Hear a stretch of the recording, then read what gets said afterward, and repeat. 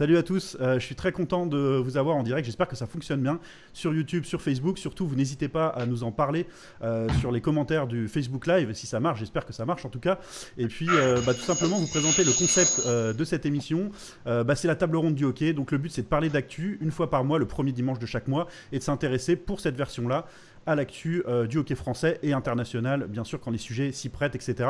Alors pour cette première mission, je suis très content parce que j'ai réuni une très belle tablée de euh, chevaliers et chevaleresses, d'ailleurs, parce que j'ai appris que le féminin de chevalier était chevaleresse. Et je vais commencer, bien sûr, euh, par Charlotte, que je salue tout de suite, Charlotte Girard, donc arbitre international qui a fait deux Jeux Olympiques notamment, et je suis très heureux d'avoir avec moi. salut Charlotte.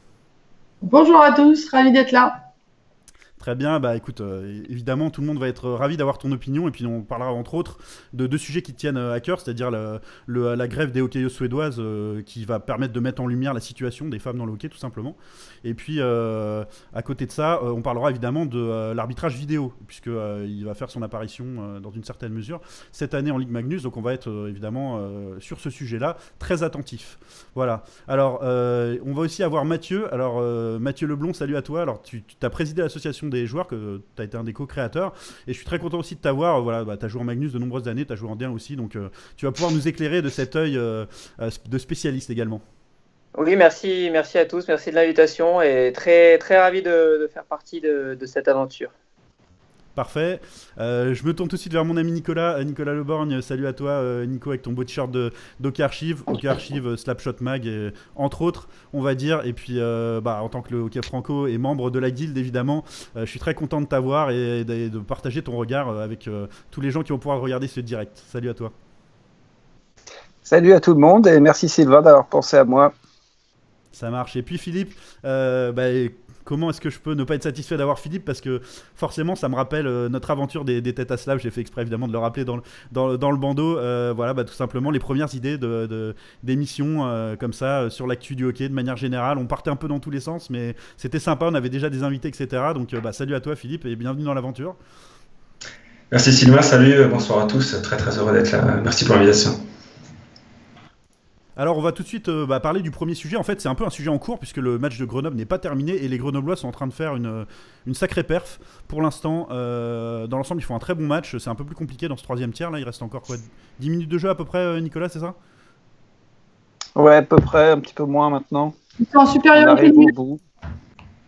Ils sont en supériorité numérique. Bah écoutez, voilà. Donc on va, Power play pour Grenoble, il reste 8 minutes. Hmm. Parfait. On va, on va suivre ce, euh, ce direct évidemment, euh, sachant qu'ils ont déjà fait un, un, match quand même plutôt encourageant, voire très encourageant. Euh, je sais pas euh, lequel d'entre vous a pu, a pu le regarder un petit peu. Philippe, tu as pu avoir quelques images toi, du, du, du premier match, regarder quelques stats? Ouais, écoute, j'ai regardé, j'ai regardé le résumé, j'ai pas pu regarder en direct malheureusement, mais bon, ce qu'on peut retenir, c'est que même si, même s'ils ont perdu, ils ont quand même fait un, un bon match penalty killing très très solide. Ils ont, euh, été 6 fois en infériorité numérique, ils n'ont pas pris de but. Euh, bien sûr, Orac a été très très bon. Et euh, même si c'était un, but un petit peu inutile, Damien Fleury qui marque toujours, là, toujours les buts importants. Donc aujourd'hui, c'est nouveau le cas. voilà, c'est ça que je retiens c'est ça, on rappelle qu'il le marque à 2-1, c'est ça. Hein donc, euh, bah, mhm. était complètement encore euh, dans la course à ce moment-là, mais je crois que ça n'a pas mhm. duré très longtemps cet écart de, simplement euh, d'un but. quelques infos qui m'ont été transmises par Magnus Corsi, d'ailleurs, qui a publié des stats, etc., que vous pourrez aller suivre. Je, vous encourage évidemment. les trois étoiles pour eux du premier match Aléardi, Fleury, Manavian, et avec un coup de cœur à Fabre. Je ne sais pas si, si, toi, Nicolas, ça te paraît à peu près cohérent par rapport à ce que tu as, pu, as pu voir ou pas. Euh, moi, malheureusement, j'ai pas pu voir le premier match, donc je vais pas pouvoir confirmer ou infirmer quoi que ce soit.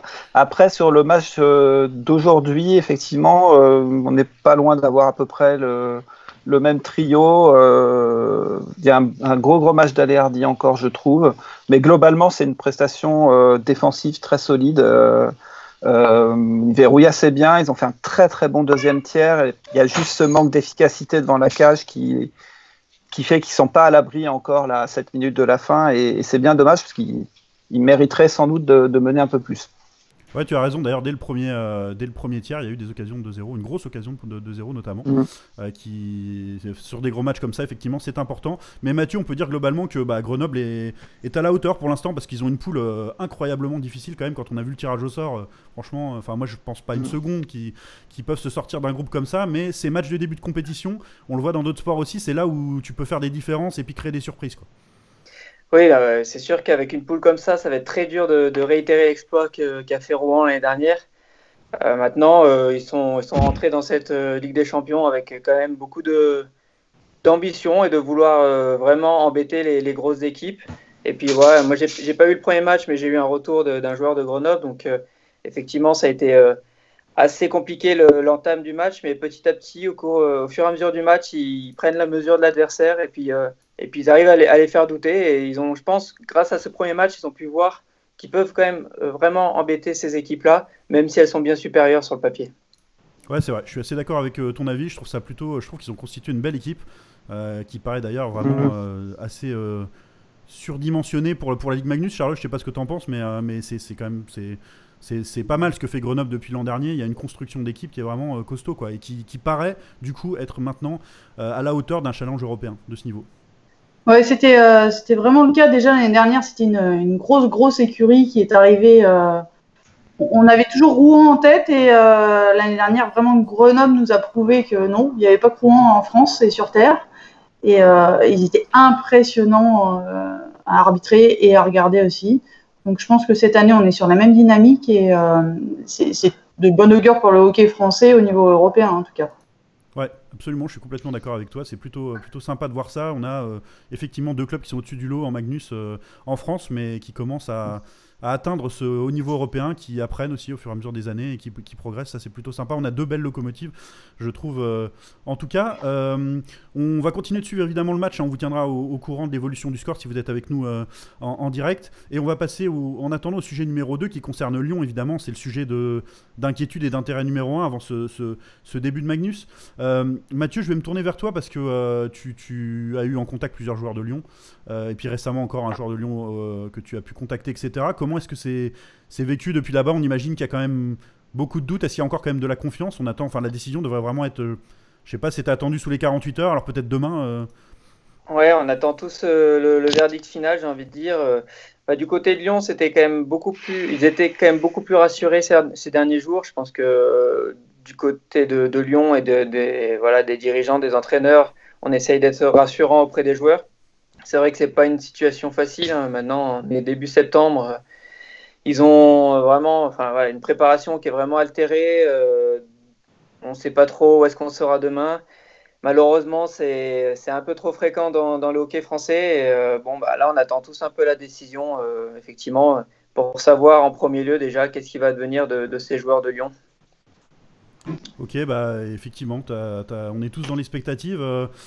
Je me tourne vers toi, Nicolas, pour euh, avoir un petit peu ton avis aussi sur le. De manière générale, en fait, il y a le cas de Lyon tous les ans à peu près. On a quasiment un club de, de Ligue Magnus qui se casse la gueule. Je suis un peu partagé de mon côté entre un sentiment de. euh, euh, de- de frustration de voir la, cette, cette, ces difficultés économiques persistantes et ces clubs qui s'écroulent. Et en même temps, je me demande quelque part, et sans du tout faire offense à personne, si c'est pas une sorte de ménage qui est en train de se faire et que c'est nécessaire finalement aussi. Euh, on a presque un hockey français qui est dans une espèce de forme d'adolescence, en fait, avec euh, l'insouciance de la gestion euh, amateur qu'on a eue pendant des années et maintenant les exigences du professionnalisme et du haut niveau. Euh, on passe à une Magnus avec euh, 44 matchs, euh, on a des ambitions européennes, on a tout un tas de, de critères financiers beaucoup plus rigides qu'avant. Et on a encore des clubs qui, j'ai l'impression, ont une espèce de gestion insouciante avec avec des présidents euh, un peu emblématiques ou un peu euh, fort en gueule et qui, euh, qui, qui essayent encore de, faire passer plus ou moins en douce des dossiers. Quoi. Donc là, ce qui est reproché à Lyon, c'est quand même le, retard d'envoi de, des dossiers financiers, de, de la présentation de pièces, des, des pièces plus ou moins ou des documents altérés. Enfin, on se dit, mais ça devrait plus se passer comme ça. C'est fini ce temps-là. On a des exigences précises qui sont connues au début du championnat. On doit présenter des documents comptables à telle date, de telle manière, et tous les ans, dans des, clubs, on voit retard dans l'envoi, examen ultérieur, machin. qu'est-ce que qu'est-ce qu'ils font quoi? Enfin, les premières victimes euh, c'est les joueurs eux-mêmes qui se retrouvent dans l'inconnu. On a quand même, euh, y compris certains joueurs qui sont euh, internationaux ou, candidats à l'équipe de France, qui mhm. se retrouvent peut-être sur le carreau. on a des supporters qui subissent le, bazar en, voyant bien les polices que la gestion est, pas saine et qu'il y a des décisions vraiment étonnantes. Et puis, et puis voilà, c'est tout le hockey qui empathie parce que sur le plan médiatique, c'est catastrophique de, de voir des clubs couler tous les ans, quoi. Ah ouais. c'est vrai que je te, euh, je te, rejoins tout à fait sur, euh, sur ce point. On a, on, a, on a cette frustration tous les ans de se dire mais comment ça peut encore arriver, euh, etc. Ça c'est vraiment, c'est vraiment pas facile à, gérer. Mathieu, toi tu avais quelques infos un peu plus précises sur le, le côté non remise de, de, documents, etc. Tu vas peut-être pouvoir éclairer notre, notre lanterne sur ce point aussi, si tu as quelques infos de, de ce côté-là. Je crois que Non, mais je pense que là, là, ça a bien été, ça a été assez bien résumé. Effectivement, il y a il y avait des documents qu'on, je, je, crois volontairement, n'ont pas voulu être remis par Lyon. Alors après, c'était une différence c'était des différences d'interprétation, pardon, entre Lyon qui pensait ne pas avoir à les, à les montrer, et puis euh, finalement, il s'avérait que, étant donné qu'il manquait des, des, lignes de dépenses dans les comptes, euh, ben, il fallait les montrer. Donc euh, voilà, c'est une incompréhension. Après, à savoir, est-ce que dans ces documents qui, sont, qui apparemment ont finalement été montrés, il y a des choses correctes ou pas, ça, on n'en sait rien à l'heure actuelle et c'est un petit peu ça qui va, je pense, déterminer la décision finale et la, conciliation euh, possible ou pas. Ouais, euh, Philippe, il y a une forme de défiance un peu, euh, j'ai l'impression, du côté de la, fédération qui, a, qui en a marre visiblement chaque année de, retrouver quand même les mêmes clubs ou les, ou les mêmes dirigeants avec les, les, mêmes problématiques et, et qui fait tomber le coup près quasiment tous les ans sur une équipe. Ouais, après, bon, si on regarde la CNSTG, elle est quand même indépendante de la, de la fédération. Donc, eux, ce qu'ils regardent, c'est vraiment l'aspect euh, l'aspect financier, économique. Euh, c'est pas, quand on dit c'est la Fédé, là, pour le coup, eux, ils, eux, ils jugent de manière euh, totalement impartiale. Ou du moins, en tout cas, c'est leur rôle. je pense, ce qui m'a le plus frappé, c'est les, les, amendes qui ont été appelées pour, pour le club de Lyon. Parce que quand tu vois les, les sommes, je pense que c'est des sommes records ce qui m'ont suggéré que là, y avait sans doute un, gros problème derrière parce que c'était soit, soit il y avait quelque chose de gros qui était, euh, qu'ils ont tenté de faire passer, soit euh, la fédération a eu le sentiment qu'on se moquait d'eux. Euh, dans tous les cas, ce qui me frappe dans, dans cet été de manière générale, mais ça ne concerne pas que cet été, c'est chaque fois la même chose, l'évolution des, des, dossiers est très très lente. On a commencé avec fin juin, début juillet avec, euh, avec ces dossiers. Après, il faut attendre euh, deux semaines de plus. Après, il y a deux semaines pour l'appel. Après, il y a encore deux, trois semaines avant le CNOSF. Et là, on est rendu euh, fin août, début septembre. et puis, on ne sait pas ce qui va se passer. Alors, est-ce que, est que la conciliation va aboutir sur l'intégration de Lyon? Oui ou non? Le championnat commence dans une dizaine de jours. Donc, il faudrait peut-être savoir à un moment donné. Alors qu'il y a les, vous voyez, les commentaires peuvent apparaître en direct. Alors, mais spécialistes ne le voient pas en direct forcément parce qu'eux ils sont sur l'appel Skype. Mais vous, vous pouvez le voir en tout cas si vous commentez sur Facebook. Euh, bah, évidemment pas des bêtises, hein, mais on va pouvoir le voir en direct et euh, je le vois en tout cas qui apparaît de, mon côté. Je vais pouvoir euh, répondre à vos questions. Et puis voilà, comme Arnaud par exemple qui, nous dit salut à tous. Et donc c'est assez sympa, profiter de cette interactivité là si vous pouvez tout simplement. on va passer au, sujet suivant tout simplement qui est bah, celui de la Magnus de manière générale qui, recommence. Hein. Euh, qui, qui, est dans les starting blocks. Là, on a la CHL qui commence sous les ans, c'est un peu euh, traditionnel euh, juste avant. Charlotte, je vais, me tourner vers toi pour te demander tout simplement ce que, bah, ce que tu en attends. Est-ce que tu as des, points d'intérêt particuliers? Alors, forcément, j'imagine que tu vas regarder avec beaucoup d'intérêt le sujet dont on parlera un peu après, qui est l'arbitrage vidéo et son application. Mais bah, en tant que fan de hockey que tu es, tout simplement aussi, et passionné, tu vas probablement suivre aussi le, côté sportif du, championnat et, avoir des sujets d'intérêt euh, en particulier bah oui, de toute façon, la, coupure estivale est toujours trop longue hein, pour les fans. Donc on est bien content que ça reprenne. Euh, euh, excusez-moi, je suis en train de voir que Grenoble, ça commence à être chaud et il y avait cage vide. Ah vas-y, vas-y, hein, surtout tiens-nous au courant. Ouais. je l'avais là sous les yeux. Il y a Kearney qui, vient de prendre une pénalité dans les deux dernières minutes. C'est pas top. Mais bon, bref. Euh, donc, euh, l'intérêt de la Magnus, oui, c'est un championnat qui est, euh, qui est de plus en plus passionnant avec le professionnalisme. faire un championnat à 13 sans, sans, Lyon, ça va être, ça va être tristoun. si, si c'est si le cas, forcément. par contre, on voit que que le niveau augmente, la vitesse augmente, la technicité augmente et qu'on intéresse aussi beaucoup d'autres championnats euh, internationaux qui viennent, euh, enfin les joueurs viennent plus facilement aussi. Avant, on leur disait, euh, ça te dirait un contrat en France, ils partaient en courant parce que déjà, ils, avaient du mal à le situer sur, sur, une, sur une carte d'Europe.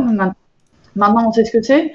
Donc, non, c'est un vrai beau championnat qui, qui demande qu'à grandir, mais comme le disait Mathieu, avec euh, des règles plus strictes et euh, peut-être euh, aussi un, engagement des clubs plus professionnels, à tous les points de vue. Il n'y a pas que sur la glace et dans les vestiaires, il faut aussi que, les clubs se structurent. Ouais, absolument. Toi, Mathieu, de ton côté, tu en, as, tu en attends quoi? Qu'est-ce qui t'intéresse, les sujets particuliers sur la saison de Magnus à, à venir, à part le, le duel attendu un peu entre Rouen et Grenoble? Bah, Moi, j'ai envie de dire la grande nouveauté, je sais qu'on va en parler, hein, mais c'est l'arbitrage vidéo. Ça, c'est quelque chose qui peut vraiment euh, continuer à, faire progresser. C'était une étape euh, primordiale si on voulait continuer à faire progresser euh, notre championnat. 2-0 pour Grenoble. Ah, magnifique. Super, merci. Cagely dans l'infériorité. Mm. bah, L'exploit est tout proche. Excuse-moi, Mathieu. Super.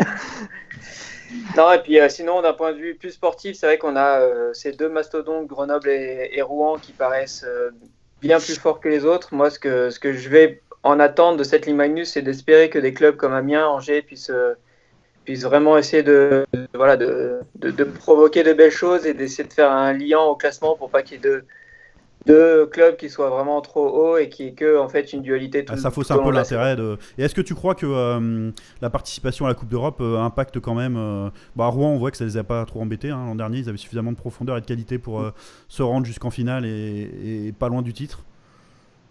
C'est sûr que ça va jouer sur la fatigue. Euh, après, euh, quand le championnat sera commencé, avec les, les, journées de CHL qui vont s'intercaler, ça va jouer forcément.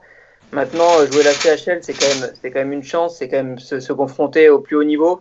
Et que normalement, on, a, on arrive à s'adapter, enfin, on arrive à trouver un rythme qui fait que quand on joue en Ligue Magnus, on garde ce rythme quoi qu'il arrive. Donc, c'est ça, peut être, ça peut être une faiblesse, mais ça peut être aussi euh, vraiment euh, un atout de, de, jouer cette compétition parallèlement. Excellent. Euh, oui, Charlotte, dis-moi. sur ce que disait Mathieu, c'est effectivement intéressant d'avoir des équipes qui sont au plus haut niveau. Ça crée toujours un décalage avec le, plutôt bas de classement, mais il n'y a pas que dans notre sport. Hein. Tu prends la Ligue 1 au foot avec le PSG et peut-être Lyon. Après, il y a un gap avec euh, ce qui se passe euh, derrière, et c'est pas pour ça que la, Ligue 1 n'est pas suivie. Mais euh, ouais, c'est vrai, pas suivie. Mais, mais, mais est-ce qu'elle est vraiment aussi intéressante qu'elle ne le fut par le passé?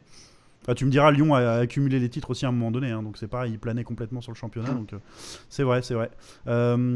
Nicolas, toi, tu, tu la Magnus, c'est pas vraiment ton, ton, cheval de bataille principal, on va dire, de manière générale, mais tu vas quand même regarder quelques petits trucs. Euh, je vais suivre les résultats, oui. Euh, après, c'est vrai que je ne sais pas si je regarderai des matchs de match parce que euh, je suis plus NHL, donc c'est sûr que voilà, il y a un, petit écart de niveau quand même. Mais c'est vrai que la qualité monte, on le voit, on le voit quand même sur, la compétition. oui, il y a, un écart qui se crée entre les, les, les meilleurs clubs et, et le reste. là, on part clairement sur un duel entre Rouen et Grenoble, on le sait, mais curieux de voir quand même ce que va faire Angers. Euh, voilà, il y a la nouvelle patinoire, il y a un, petit peu de médiatisation autour de ça. Mhm. Le recrutement est intéressant euh, avec Yorka, Didier Balsamo, la tendresse. Euh, Amiens a une équipe qui est assez soudée, pas mal de joueurs formés au club, il y a, un état d'esprit intéressant. je pense que là, on a un quatuor assez, assez intéressant euh, voilà, après, ouais, on a les, habitués, hein, Bordeaux Gap qui seront juste derrière. Et après, là, par contre, je trouve qu'on a un creux. Euh, on a un mmh. creux après ces équipes-là. Quoi. C'est. C'est pas faire injure à, à Nice, Anglette, euh, Mulhouse, Chamonix et, Briançon, euh, Briançon surtout en tant que promu, euh, mais ils n'ont pas, ils ont pas, ils ont pas les armes pour lutter sur la durée. Sur un match, oui, ils peuvent faire un coup, mais sur la durée, ça me paraît quand même compliqué. Donc, Alors qu'on a vu que l'équipe suédoise au nom imprononçable vient de, mais, mais excellente sur la glace, vient de remonter à 2-1. Donc suspense est entier pour la fin de match. Je sais pas combien il reste de temps. Si vous voyez, n'hésitez pas. À, Là, ils ont pris un temps mort, donc j'ai pas le, chrono en, en, vue, mais il doit rester moins d'une minute de toute façon. D'accord, parfait. Pour finir le petit tour de table, Philippe, euh, toi, quelques points d'intérêt en particulier? Je vais faire un petit peu écho à Nicolas et Mathieu, mais euh, je, vais, aussi citer euh, Richer, l'entraîneur d'Amiens, qui disait que, du moins, qui se félicitait d'être la, meilleure équipe du championnat derrière Grenoble et Rouen. Donc, ce qui va être intéressant, c'est de suivre cette saison qui pourrait être cette, équipe. Et comme l'a dit Mathieu, à quel point ils vont pouvoir essayer, de, essayer de combler le gap avec, euh, avec ce, ce, duo de tête Est-ce que ce sera Amiens? Est-ce que ce sera Angers? Euh, Comment vont euh, réagir Bordeaux et Gap qui ont eu des changements cette saison, aussi bien sur le banc mm. que dans l'effectif? Ça sera intéressant de voir. Et ensuite, pour parler un petit peu plus bas dans le classement, Chamonix avait été l'équipe vraiment surprise pour moi la saison dernière parce que comparé à leur effectif, je trouve qu'ils avaient eu des, des, performances vraiment exceptionnelles. D'ailleurs, en connaissant un petit peu la D1, ceux qui connaissent bien la D1 avaient vu qu'ils avaient vraiment ils avaient choisi des, bons, des très bons profils très intéressants de D1, ça va peut-être donner des idées euh, encore. Ce qui, ce qui n'est pas toujours un succès euh, en Ligue Magnus, mais là ils ont vraiment un alignement des étoiles, je trouvais. Euh, alors ils ont changé d'entraîneur. ce week-end ils étaient à la Coupe des Bains en Suisse où ils ont joué contre Rouen, mais aussi contre deux équipes de première division finlandaise. Alors que je te coupe je pense que pour dire que Grenoble a gagné, donc immense bravo aux brûleurs de loups qui ah nous rendent tous fiers ce soir parce que c'est vraiment dans un groupe comme ça, même une victoire c'est déjà un chapeau quoi. Ouais avec un Goldorak euh, à la hauteur de sa réputation. C'est vrai qu'on parle souvent de la rivalité Rouen-Grenoble euh, au niveau des joueurs, mais il y a deux gardiens aussi euh, assez exceptionnels, je trouve. En Magnus, on a de la chance de les voir évoluer. Je t'en prie. Lucas, c'est un super gardien. Oui, donc juste, pour finir, à ce tournoi en Suisse où ils ont affronté les équipes de première division finlandaise, moi le premier, je, pensais qu'ils allaient prendre des scores beaucoup plus lourds que ça. Et au final, ça s'est plutôt bien passé malgré, euh, je crois, 4 ou 5 absents à chaque match dans, les, joueurs, euh, dans les joueurs importants, dont des étrangers. Donc, euh, vont-ils rééditer cette performance cette saison avec le nouvel entraîneur finlandais Ce serait intéressant à suivre. On aurait pu citer Nice dans le même cas de figure, mais je, je trouvais que c'était vraiment plus frappant de parler pour Chamonix, qui était très, très surprenant la semaine dernière. Exact.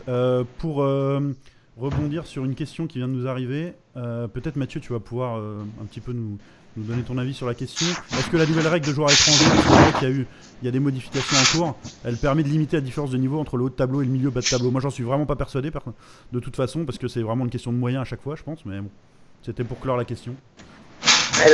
on parle de quelle règle, de la nouvelle règle de joueurs étrangers C'est laquelle précisément? Euh, je pense qu'en l'occurrence, c'est le fait qu'on revient à 20 joueurs sur la feuille de match qui fait qu'au lieu d'avoir 11 JFL, 11 JFL, c'est 10 et 10. Non, en fait, c'est plus impactant. Oui, la, diminution du nombre de joueurs sur la feuille de match, donc qui fait que de, fait, il y a un joueur étranger en moins. Mais euh, en fait, le, but vraiment premier de cette règle, c'était de limiter le, de, prendre des joueurs qui sont là uniquement pour faire la feuille de match, euh, des jeunes Français qui pourraient potentiellement jouer dans des clubs de D1 ou, autres et qui sont là juste pour faire la feuille de match c'est vrai qu'on n'avait pas besoin nécessairement de 22 joueurs sur une feuille de match. C'est très très rare, euh, enfin, voir, ça arrive jamais que les 22 jouent. Mm. Donc euh, c'était vraiment euh, le, premier but, c'était d'arrêter de, de, faire voyager des joueurs juste pour, pour être sur une feuille de match et essayer de les faire jouer pour qu'ils progressent justement. Ouais, parfait. Bah justement, Mathieu, je vais te relancer sur le, le sujet suivant qui est celui de, de Gap, qui est quand même un point d'interrogation pour cette année, puisque fait assez exceptionnel depuis euh, quoi quasiment 20 ans. Euh, il n'y aura pas de Luciano Basile sur un banc de, euh, de, hockey français et de, et de Ligue Magnus. Alors qu'est-ce que ça, ça t'inspire de ton côté C'est un beau défi qui attend, le, qui attend les rapaces de montrer que bah non effectivement Gap c'est loin de n'être que Luciano Basile et qui sont capables de, réitérer leur belle performance quand même régulière en, en Ligue Magnus. Oui, c'est sûr. Après, je pense que, enfin, on, sait, on sait tous pourquoi Luciano n'est plus là. C'est parce que Gap voulait vraiment euh, assurer une pérennité au club et puis arrêter de potentiellement viser tout le temps euh, les étoiles euh, et d'être voilà, à la hauteur de, leurs moyens. Donc on ne sait pas exactement quelles ambitions ils portent. On sait qu'ils veulent vraiment pérenniser le club, jouer, les, jouer les troubillons dans, dans, dans, la ligne Magnus. Maintenant, voilà, Luciano Basile va forcément manquer, mais il, a, il a vraiment eu énormément de, de rôle et d'impact sur ce club, à, à, vouloir le porter toujours au plus haut niveau. Maintenant, il y a des réalités aussi économiques. Euh, la ville de Gap, c'est pas une, ville, une, une, énorme ville, donc c'est compliqué aussi de, de, faire rentrer de, de l'argent certainement. Et pour pouvoir rivaliser -hmm. avec des clubs comme Grenoble et Rouen, c'est compliqué. Donc euh, voilà, je pense que c'était un super cycle. Maintenant, euh, Gap euh, retourne sur un nouveau cycle. Si c'est pour pérenniser le club dans la durée, c'est une très bonne chose. Ouais, Charlotte, euh, l'arbitre euh, que tu es de, de, du plus haut niveau international a forcément côtoyé Luciano Basile au cours de ces années. Euh, Est-ce que tu fais partie de, de, celles ou ceux qui sont, qui sont déçus de, son départ parce que c'est un grand personnage du hockey français et qu'on l'aime ou qu'on l'aime pas Ou est-ce qu'il y a une forme de soulagement pour tes collègues qui, Moi, je, je sais pas, j'ai pas l'impression qu'il était le pire forcément avec les arbitres en, en soi, mais. Premièrement, je ne je, je, vais, je vais pas me prononcer pour mes collègues. Hein, oui, tu as raison, absolument. avec euh, les coachs. Euh, Luciano, c'était un personnage sur un banc, mais c'était un personnage de mon côté euh, qui était facile à canaliser. c'est un gros bosseur, tout le monde le sait. Hein, il n'est pas arrivé à ce niveau-là, il n'a pas cette aura pour rien. Mmh, il a connu la légitimité par l'effort et par, par la compétence. Donc, euh, je t'avouerai que j'ai jamais eu trop de problèmes. Euh, Peut-être que quelquefois on a eu des échanges musclés parce que soit je m'étais planté, soit il s'était planté, mais euh, ça s'arrêtait là. Sinon, la plupart du temps, euh, c'était un coach euh, qui était très respectueux et, vraiment en phase avec, avec l'idée que bah, les arbitres font partie du jeu. Et il savait très bien s'adapter d'ailleurs à chaque trio ou quatuor. Il savait très bien en jouer bien intelligent sur la psychologie de match en tout cas. Il était très malin envers les arbitres, Luciano. On sent que tu as vu les quelques petits, euh, quelques, quelques, la petite touche spéciale qu'il avait. Il était très malin. Parce... ouais, il était toujours respectueux quand même, euh, bien évidemment. Euh, avec son charisme, il savait, euh, il savait, euh, voilà. Mais il savait quand il voulait. Mais, mais, mais contrairement à d'autres, il le faisait toujours dans, voilà, dans un respect. Et, et, il le faisait bien. Et je pense que pour les arbitres, c'était pas certainement pas le coach le plus compliqué. Non, absolument pas. Euh, et puis il savait avec qui euh, avec qui faire les choses. Euh, il connaissait les limites de chacun. nous, on, sur la glace, en tant qu'arbitre, on connaît les limites de, chaque coach. Hein. Par exemple, en, entre un Bourdage et un Luciano Basile, c'est pas du tout les mêmes caractères, donc on les prend pas pareil. Notre psychologie à, nous aussi est différente. Et Luciano euh, était euh, très très intelligent pour savoir. Euh, c'est vrai que c'est un autre personnage de.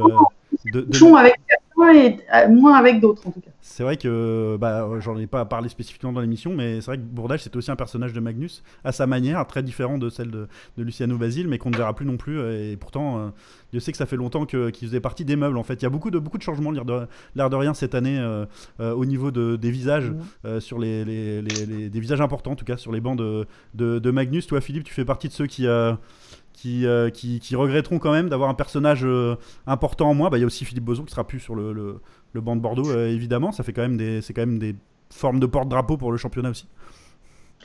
Bah, c'est sûr que c'est un personnage. Hein. 16, 16, années, 16 saisons qu'il était dans le paysage. Je pense que c'était l'entraîneur là depuis plus longtemps, du moins sans, discontinuer. Il a même connu le Super 16. Euh, il, est arrivé avant la Ligue Magnus, donc c'est dire. Moi, ce qui va être intéressant de voir, c'est, je trouve c'est bien que Gap ait fait, euh, fait ce choix, euh, on va dire de la raison, comme, comme le disait Mathieu, euh, plutôt que de, de, courir après quelque chose qui est très difficile d'avoir. Euh, ils ont été plutôt pragmatiques, ce qui manque peut-être dans certains clubs en France encore aujourd'hui. Et ce sera très intéressant de voir ce qui va donner Eric Blaise sur le banc, parce que c'est quelqu'un qui a, qui a, une bonne expérience en tant qu'entraîneur adjoint, il a entraîné chez les jeunes. Non, là, il, réputé pour ses, ses, compétences tactiques, pardon. Il va, puis, ouais la gestion de certains secteurs de jeu. C'est effectivement un vrai. On parlait des, des, curiosités et des intérêts de ce championnat de Magnus. Ça fait complètement partie, moi, de ce qui m'intéresse de voir cette saison, en tout cas. Ah, si, si, on compare maintenant, on a des entraîneurs qui arrivent sur les bancs euh, alors qu'ils ont, qu'ils ont la trentaine. Je veux dire, on a des entraîneurs très jeunes en France, à Angers. Euh, Yorick Trey à Mulhouse. On a. Euh, euh Fabrice Lenry, ouais. c'est des gens qui arrivent avant d'avoir 40 ans maintenant sur les bancs. Et Eric Bleb, il arrive un petit peu plus tard en tant qu'entraîneur-chef. Euh, il va devoir aussi gérer euh, plus humainement peut-être un groupe euh, professionnel où c'est peut-être un peu plus différent. Il y a peut-être plus d'ego que dans un vestiaire de, de hockey mineur. donc je pense que ça va être intéressant de voir comment il va gérer ça. On a un commentaire de Lucas qui, est, pas loin de la vérité, je pense. Qui dit qu'on dirait que tu es aux toilettes euh, quand, quand tu parles. C'est très marrant. Euh, bah, merci pour ce petit tour sur cette, euh, cette question. je vais retourner vers toi, Charlotte, pour parler du vidéo, de la, bah, de la vidéo, de l'arbitrage vidéo. En tout cas, je sais pas exactement comment on va l'appeler pour la Magnus en particulier, puisque toi, tu as évidemment déjà expérimenté ce système au niveau international, et du coup, tu vas pouvoir nous éclairer un peu, et puis bah, parler un petit peu de la manière dont c'est amené aussi, parce qu'on a l'impression que les joueurs, les équipes sont loin d'être au courant de comment ça va se passer, quoi. Alors, euh, une, je ne vais pas m'exprimer pour la PD parce que je ne sais pas comment ils ont communiqué vers les clubs et, euh, vers, euh, et puis vers la, formation des arbitres. En tout cas, c'est quelque chose qu'on ne peut pas faire à la légère et qui est très encadré par le règlement IHF. Mhm. Moi, de ce qui est connu en international à maintes et maintes reprises, il y, a il y a deux choses différentes. Déjà, il faut, pour que le grand public comprenne, il y a le, le, jugement sur, sur un but et il y a le coach challenge qui ne sont pas les mêmes choses. Et en France, là, on va vraiment avoir euh, que la vidéo sur les buts. Ouais, Donc, très important à préciser. challenge sur un, un, hors-jeu, euh, ils, vont, ils, vont, déchanter parce que ça n'existera pas. Pour, pour, dire là sur les derniers championnats, euh, enfin les, derniers Jeux Olympiques, pour pouvoir avoir un coach challenge sur un hors-jeu, il faut 32 caméras sur la ligne bleue. Ah ouais. Je, ne suis pas sûr que encore la ligne Magnus soit en capacité de pouvoir faire ces aménagements-là c'est fou, je savais pas du tout. 32 caméras Ouais, ça permet de faire des 3D parce que ça va t'aider pour avoir des angles différents. Euh, euh, c'est une grosse technologie, en tout cas. Ouais, c'est intéressant. Euh, Mathieu, toi, côté joueur, puisque bah, tu es très, très jeune retraité, hein, tu peux pratiquement te mettre dans la peau d'un joueur de, évidemment qui jouerait cette saison en Magnus. Tu serais enthousiaste à l'idée que ça, ça arrive et que ça puisse peut-être quand même, malgré tout, même s'il y a des limites, effacer certains doutes sur bah, des palais rentrés, pas rentrés, etc. Mais bien sûr, euh, c'était euh, vraiment un, des chevals de bataille de, euh, de, l'association des joueurs. Pardon. Les, joueurs attendaient ça avec impatience parce que c'est une aide tellement importante pour les arbitres qui vont maintenant pouvoir se focaliser peut-être sur d'autres choses que savoir si le palais est rentré de, 1 ou 2 cm ou pas. C'est tellement important. ce genre, dans des matchs importants, ce genre de décision, parce qu'en vrai, on va avoir des joueurs qui vont se plaindre, mais ils ne savent pas eux-mêmes s'il peut aller rentrer ou pas. L'arbitre, il a pris une Ça va quand même lever ce doute-là, ouais. Donc voilà, ça, ça, met de la tension dans des matchs importants qui peuvent amener à d'autres choses derrière. C'est là maintenant, c'est simple, on a de la vidéo. Attention Mathieu, c'est là où je voulais en venir. C'est là où c'est extrêmement réglementé. Euh, pour avoir euh, accès à, ta, ton jugement par vidéo, tu as le droit qu'à 7 questions. Bien sûr, oui, mais les, pour moi, les, c'est vraiment les, les 7 cas qui arrivent le plus souvent. Bien sûr. Si, un palais rentré, ou à savoir si la crosse était plus haute que la transversale, ça, ce sont des choses euh, vraiment. Euh, moi, j'ai eu, je pense, dans les trois dernières années de ma carrière, j'ai eu au moins 5 ou 6 fois un cas comme ça dans des matchs de playoff avec des scores serrés. Et à un moment donné, même nous, on ne sait pas vraiment s'il y a but ou pas, mais, mais de toute façon, on essaye. Enfin, voilà, ça, ça arrive, ça met des situations de tension, alors que maintenant, avec un système comme ça, c'est sûr que ça va, apaiser des... ça va apaiser des tensions, ça va libérer aussi les arbitres sur la glace d'une certaine pression, où euh, il y a un moment, c'est l'image qui va faire foi. Euh, euh, c'est une vraie avancée. Après, là où je mets un bémol, c'est que la vidéo résout pas forcément tous les problèmes. Bien évidemment. Tous les, mais comme dans tous les autres sports, et euh, a fortiori en France, euh, en IHF, quand on a le juge de, but vidéo, en fait, on va à la table de marque, on a notre écran, mais on, parle avec quelqu'un. c'est ça. Il y a un cas régie, en fait, une sorte de cas régie. Il y a une co-construction de la, décision, et ça, c'est aussi euh, important, toujours dans les règles de cette question, etc. Là, l'arbitre ou les arbitres vont être seuls à la table de marque et il n'y aura pas cette co-construction de la décision. Donc, il y aura toujours cette certaine euh, pression qui sera euh, sur ses épaules. Euh, vous imaginez bien que dans une, dans une arena pleine sur un match de playoff, comme disait Mathieu, avec la bronca qui peut se passer, tu regardes ton écran, la pression, elle est toujours là parce que de toute façon, la, la décision, elle sera. Tout le monde sait que c'est toi qui vas la prendre avec l'écran. Donc, dans, dans 98% des cas, on est sûr que ça va régler le problème et tant mieux, heureusement, c'est génial, c'est une belle avancée. Après, il y a un d'incertitude qui. Euh, il, faut en être conscient pour euh, laisser euh, quand même la latitude à l'arbitre de dire bah là, je pas juger parce que j'ai pas langue, je vois pas, euh, j'ai pas pu, euh, mais c'est la vie. Merci. Je exactement. voulais juste, ra- Vas-y, je voulais Mathieu. juste rajouter quelque chose qui est très important aussi. Il y a, euh, il y a deux ans, euh, un joueur étranger, euh, vraiment enfin, de, de très haute qualité, qui jouait dans notre championnat, m'a dit clairement à un moment donné, si en France vous voulez passer un cap, il faudra mettre de la vidéo parce que ce genre de manquement fait que les, les grands joueurs qui Ah, il y a une sont frustration peut-être en hein. concurrence avec, Ouais. euh, avec le Bel, choses comme ça, et Mm. ben, c'est- ce sont des petits détails qui font qu'à un moment donné, ils partent ou ils restent. Ouais, mais je suis entièrement d'accord avec toi, Mathieu. hein. Ça va apporter vraiment une sérénité et euh, on, va passer un- on, va passer, on va passer une marche grâce à la vidéo. Mais attention, il ne faut pas tout. Ouais, excellent. Bah, merci à votre intervention euh, à tous les deux sur le sujet. C'était très intéressant. Je sais pas si, euh, si euh, Nico euh, ou Philippe, qui n'ont pas vraiment, euh, qui sont pas vraiment exprimés sur le sujet, vous avez quelque chose à, à y ajouter. N'hésitez pas en tout cas si, si c'est le cas. J'ai- laissé les professionnels de, la question euh, évoquer euh, le problème. Je, suis tout à fait d'accord pour dire que ça euh, participe de l'évolution du championnat vers plus de professionnalisme, plus de crédibilité et de sérieux vis-à-vis de nos concurrents, c'est-à-dire les autres championnats. Euh, on passe euh, une ligue qui d'un coup fait un peu moins amateur en fait tout simplement euh, ça montre que bah voilà, c'est, pas du flanc notre championnat maintenant. Faudra voir dans quelles conditions techniques ça va fonctionner. Je suppose que ça va être aussi des images fan site, etc. Il va falloir voir quels angles de caméra on a. Voilà, c'est on attend de voir euh, l'évolution technique, mais sur le principe, c'était évidemment euh, largement nécessaire. Même si euh, ça ne sera pas utilisé à tous les matchs, euh, le moment où c'est utilisé, ça sera crucial pour le déroulement de la partie. Donc euh, euh, rien que pour ça, c'était une évolution qui était vraiment indispensable. Parfait, bah, merci bien. Euh, Philippe, je vais tourner vers toi pour le, sujet suivant qui concerne euh, bah, les divisions euh, inférieures. Mais juste avant, on va se regarder euh, une petite vidéo euh, qui est assez sympa de, la rondelle de D1. Vous allez voir, j'espère que vous le suivez sur, euh, sur euh, Twitter et, Facebook parce que souvent on se, on se, euh, on se marre bien vraiment. Donc je vous passe ça. Et puis après, on se fait, bah, voilà, on parlera tout simplement comme un peu sur la Magnus des sujets qui nous intéresseront à suivre cette saison sur les, les divisions inférieures à, à la Magnus, tout simplement. Donc voilà, je vous envoie ça tout de suite et puis j'espère que ça va vous plaire. Hop, c'est parti. Salut Hockey Franco, c'est la rondelle de l'AD1. Alors on sait que vous attendez votre grand soir médiatique, mais en attendant, euh, nous on traite sérieusement euh, l'actu de l'AD1 française. Alors pour cette première émission, on est allé euh, en immersion dans les clubs de D1 à l'occasion de leur reprise. Alors la première surprise de la rédaction quand on est arrivé, c'est que on a cherché le camp d'entraînement dont nous avaient parlé tous les clubs quand on les avait eu au téléphone. Et finalement, ça ressemblait à quoi entre leur reprise d'entraînement, leur camp d'entraînement? Oh, bah, C'était 4 entraînements par semaine entre midi et 2. Euh, juste après euh, la séance de pouce-pouce euh, des centres de loisirs et juste avant la soirée mousse de 14h des préados.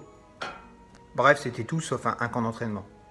Alors on est allé à la rencontre des joueurs. On a évidemment les habitués de la D1 qui ont repris dans leur club depuis 10 saisons. On en a trouvé un qui va nous expliquer un petit peu comment ça se passe la reprise en D1 euh, depuis plusieurs années dans son club. On l'écoute. Bon, les reprises en D1, c'est un peu toujours la même chose. hein, D'abord, on arrive, on croit qu'on va avoir plus de créneaux de glace parce que c'est ce que nous avait vendu notre président au mois de mai. Finalement, rien n'a changé. Ce qui change pas euh, aussi, c'est euh, notre, notre centre de la troisième ligne qui reste toujours avec ses 12 kilos de trop, qui a un peu abusé des barbecues l'été. Ce qui change pas non plus, c'est que on a toujours au moins un joueur canadien qui nous est annoncé dans l'équipe et qui finalement vient pas. Raison familiale, euh, c'est toujours un petit peu le, la raison évoquée. Bon. Et puis, euh, et puis euh, nous, on se marre toujours bien quand on voit arriver les, jeunes joueurs français qui ont signé au club. On sait très bien ce qu'ils vont faire. euh, eux, non, visiblement, mais nous, on a bien compris qu'ils allaient cirer le bon toute la saison. Donc c'est, ouais, les reprises de D1, c'est, ça n'a pas trop trop changé depuis 10 ans là-dessus. euh, le hockey français a pas trop évolué. Et puis, et puis, on a les joueurs étrangers qui découvrent la D1.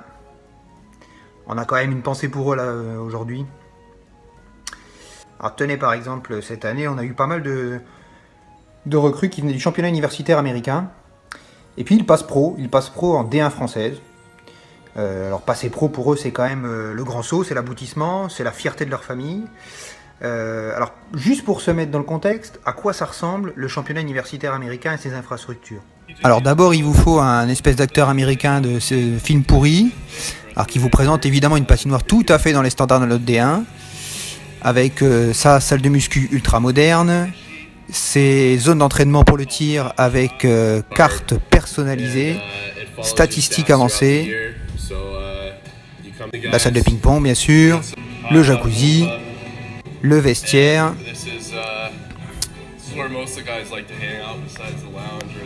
Et là, arrivé en France, le joyau, la patinoire municipale de Neuilly-sur-Marne, 3,7 étoiles sur 5 sur Google quand même, hein. dans un quartier extrêmement accueillant. C'est quand même un peu la douche froide pour eux. hein. Alors quand ils se rendent compte aussi que c'est le même mec qui est venu les chercher à l'aéroport, qui affûte leurs patins, qui sert au bar, qui ferme la patinoire et qui gère la table de marque, là ils commencent un tout petit peu à cerner euh, où ils ont mis les pieds et à quoi va ressembler le championnat de D1. Alors la reprise dans les clubs, c'est aussi l'occasion pour les présidents et les entraîneurs de, de parler un petit peu à la presse locale et de vendre leurs. Alors on va écouter le témoignage euh, d'un président de club qui nous explique comment il gère tous les ans, au mois d'août, euh, la presse locale. On l'écoute. Ce qui est bien avec la presse locale euh, qui suit le hockey, c'est qu'on a toujours des correspondants et que c'est jamais les mêmes types, donc d'une année sur l'autre on pourra raconter les mêmes salades. Alors pour faire une bonne com de reprise en D1, 1. On affiche des ambitions de top 4, voilà. 2. On explique que cette fois-ci, ça y est, le club va se professionnaliser et que euh, le passage en SASP qu'on annonce depuis 8 ans euh, est imminent. Euh, et puis, troisième point important à souligner à la presse, c'est que cette fois, ça y est, le club met vraiment en place une politique de formation et va laisser la place aux jeunes joueurs. Voilà. Bon, en général, la presse marche dans l'affaire, on a une petite page dans la, dans la presse locale, on est content. Alors dernière chose, à la rédaction, on a aussi été intrigué. On a vu pas mal passer sur les réseaux sociaux, euh, dans les équipes de D1, le team building. Alors les journées de team building. Alors ça, ça nous a intrigué un petit peu. Alors on est allé voir, on a regardé un petit peu justement sur les réseaux sociaux. Alors de loin, ça, ça a l'air quand même pas mal. Alors évidemment, on a zoomé un tout petit peu pour voir de quoi il était question. Alors ça, ça ressemble plutôt euh, à l'équipe de la rédaction de la rondelle au 5 le vendredi soir que à une team building d'une équipe professionnelle de division 1. Bon alors du coup, nos reporters sont quand même allés enquêter sur ces journées, on les a suivis. Euh, finalement, pas grand-chose. hein. On se retrouve dans le parc municipal euh, à jouer à la balle aux prisonniers et à boire des bières. Bon, euh, nous à la rédaction, pour souder l'équipe, on boit des bières, on n'a pas besoin d'aller au parc municipal et de mettre des photos sur les réseaux sociaux. Allez, ciao le hockey franco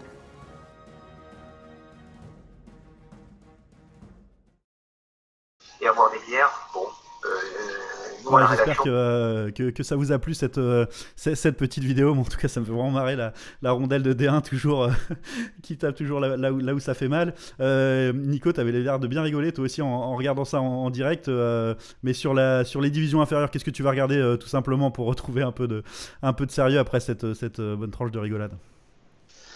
Bah écoute, moi mon cœur est partagé parce qu'évidemment je vais suivre Tours parce que c'est quand même euh, ma ville d'origine. Mais étant maintenant installé à trois quarts d'heure de Marseille, je vais aussi suivre un petit peu Marseille, voire peut-être aller voir quelques matchs là-bas. Euh, je suis allé voir Marseille plusieurs fois en fin de saison dernière et je dois dire que j'ai été assez euh, séduit par euh, le projet, la qualité de jeu qui était proposée, le gardien Patrick Vertanen qui était vraiment monstrueux et qu'ils ont réussi à garder. Exact. Euh, Ouais, C'était un euh, sacré défi. hein. Moi, je pensais qu'il ne garderait pas, perso. bah, moi aussi, franchement, vu la perf qu'il a fait, euh, je pensais pas qu'il le garderait. Euh, ils ont réussi à le garder. Il y a un public vraiment qui s'est constitué avec des supporters euh, bouillants et, et c'est, c'est- en même temps c'est bon enfant. Donc euh, je pense qu'il y a quelque chose quand même qui est en train de se monter à Marseille. Faut voir. Faut voir sur la durée. Euh, ce qui me frappe moi sur la D1 et sur les équipes engagées, c'est à quel point c'est homogène. Euh, parce qu'on a quand même plusieurs équipes qui ont connu l'élite il n'y a pas si longtemps, que ce soit euh, Brest, Caen euh, ou, ou Strasbourg ou, ou Neuilly. On a, euh, on a le projet de Cergy, le projet de Marseille, le projet de Tours qui sont quand même euh, en construction aussi intéressantes. On a des grandes villes comme Nantes, Montpellier. C'est un championnat qui est vraiment intéressant. Euh, le C'est un peu un monte. championnat étalon Euh, de- du hockey français, non? Finalement, pour, pour évaluer Ouais, vraiment là où on en est, c'est intéressant de, de, de regarder son évolution. Ouais, ouais. Parce que le, le niveau de jeu euh, l'année dernière, les, les matchs que j'ai pu voir euh, à Marseille, c'était c'était vraiment pas moche, quoi. Donc, faut, je serais bien incapable de donner un favori cette année. Il y a, pour moi, il y a 6-7 équipes qui peuvent, qui peuvent viser le carré final. Euh, voilà, on, va voir. Ça va dépendre souvent des recrutements des joueurs étrangers, euh, du développement d'un ou deux jeunes joueurs français, euh, et puis un gardien en feu. Voilà, ça, voilà, ça, ça va tourner euh, à pas grand-chose. Mais euh, je pense que c'est un championnat à suivre. Parfait. Euh, Philippe, toi, est-ce que tu vas, même si bon, on sait que tu suis plus, plus spécifiquement Mulhouse, qui est maintenant Magnus, qui a été un certain nombre d'années une très belle équipe de D1 qui faisait partie évidemment des favoris chaque saison. Qu'est-ce que tu vas suivre sur les divisions inférieures? Peut-être pas que la D1 d'ailleurs, mais en D2, il y a aussi un certain nombre de, points d'intérêt. Ouais, bon, en D1 évidemment, Nico parlait de Marseille. Alors c'est sûr que des équipes comme Sergi et Marseille vont être attendues. Cette fois, l'année dernière, c'était peut-être un petit peu moins le cas. ils, ont, ils ont créé la surprise. Donc maintenant, il y a des équipes qui vont devoir confirmer. Euh, si on compare à l'année dernière aussi, on va pouvoir regarder le classement à Noël pour savoir qui sera prétendant au titre à Noël et sera même pas en playoff au final euh, deux mois plus tard parce que c'est tellement serré. Et euh, sinon, on pourrait parler en D2 où par exemple Épinal a été versé dans la poule Nord. Vous savez que c'était un, petit peu compliqué de faire une poule Nord et une poule Sud sans forcément avoir des déçus. On a, on a mis Colmar et Strasbourg 2 finalement dans la poule Sud. Donc Épinal, qui devrait avoir une belle équipe, devrait bien bien tourné en poule nord, mais est-ce que ce sera pas préjudiciable pour une fois les playoffs venus où il faudra, faudra euh, croiser le fer avec les équipes de la poule sud qui ont une poule peut-être un petit peu plus dense? Et où on sait qu'en général les, les, playoffs arrivent avec des, équipes de la poule sud qui sortent beaucoup d'équipes de la poule nord assez rapidement. Ouais, c'est vraiment intéressant comme regard. Toi, Mathieu, tu vas aussi. Euh, tu vas aussi regarder de, de, ton côté un peu les, les, divisions inférieures. On imagine qu'en tant qu'ancien président de l'association des joueurs, bah, tu n'étais pas uniquement les, représentants des associations, enfin de, des joueurs de Magnus, pardon. Non, alors c'était l'association des joueurs professionnels, donc il y avait quand même des joueurs de D1, c'est vrai, mais ça restait assez, euh, assez peu.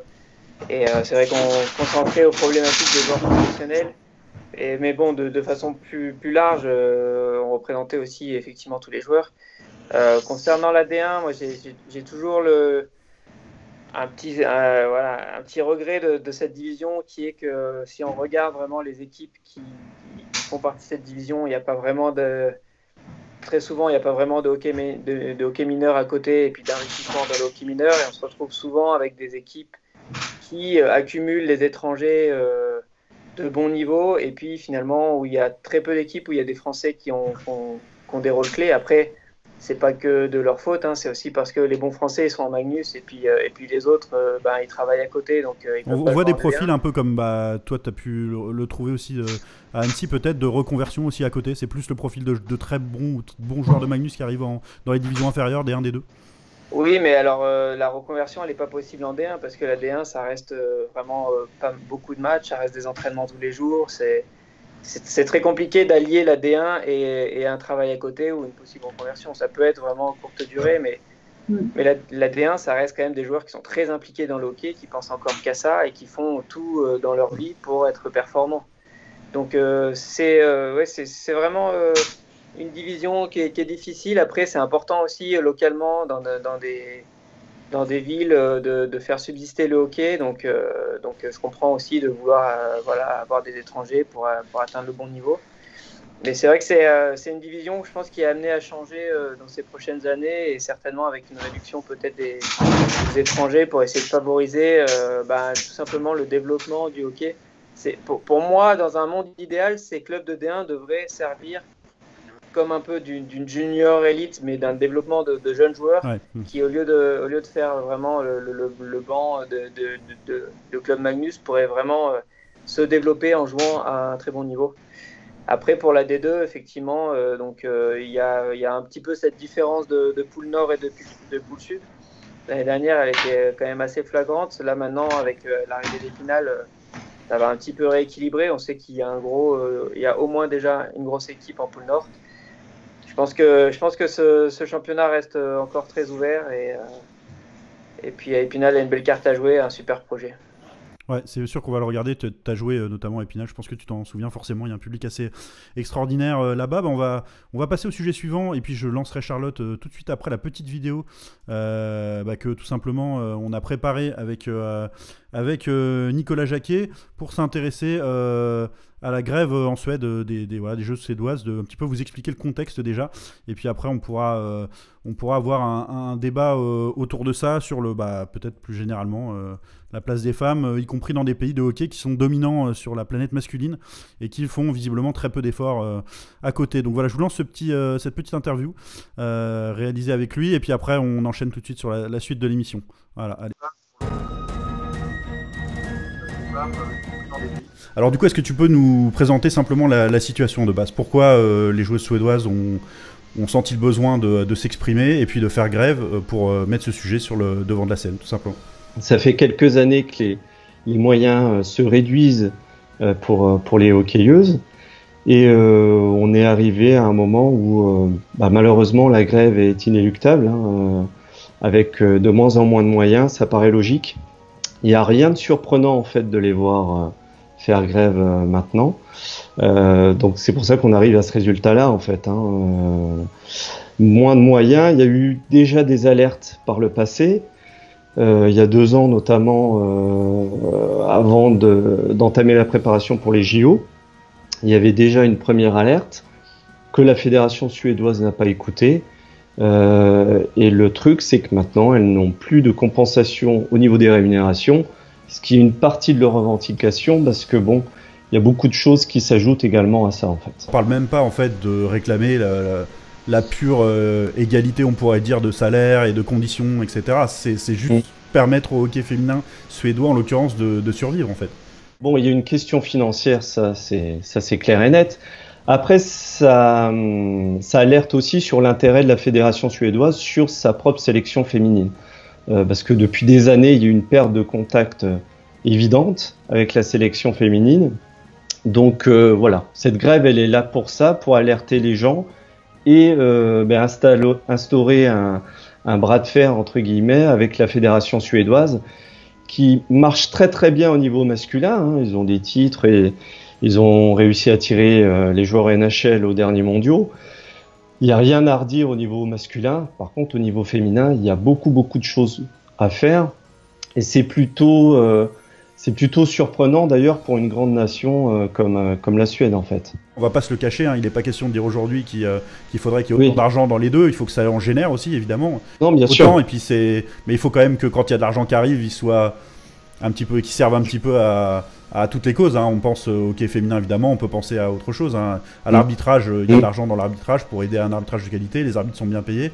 Et puis euh, il faut aussi qu'il y ait de l'argent mm. pour le handicap, etc. Mais que le hockey féminin soit aussi peu aidé, en tout cas, euh, et puis mis en valeur, c'est quand même un peu triste. On fait souvent la, souvent la comparaison avec la Finlande au niveau masculin, où les deux équipes sont finalement assez proches euh, au niveau des performances, de la faculté à sortir des talents. Euh, par contre, c'est très étrange au niveau féminin parce qu'il y a une vraie fracture entre les deux pays. La Finlande, elle, se débrouille plutôt pas mal euh, pour développer le hockey féminin de manière générale. Ils ont eu des succès d'ailleurs dernièrement.